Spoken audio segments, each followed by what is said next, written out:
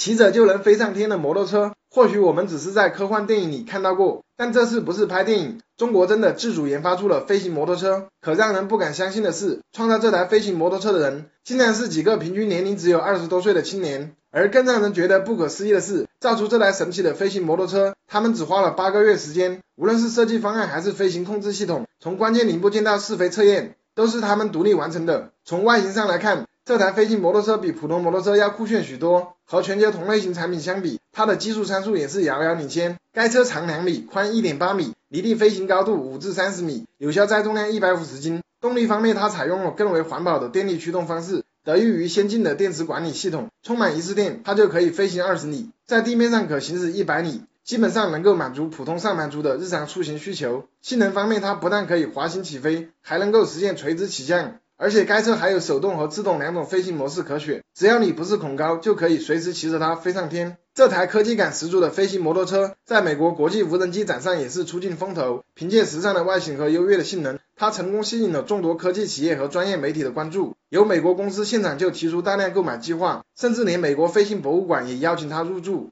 飞行摩托车的出现，将让我们多出一种突破贫穷想象的出行方式。它不仅能大幅缩短我们在交通上花的时间，还能有效解决交通拥堵和道路局限性等问题，可以说是既环保又高效。据悉，这款飞行摩托车最快明年就会批量生产，届时飞着去上班或将成为现实。而且该车预计售价在十万元以内，你会买吗？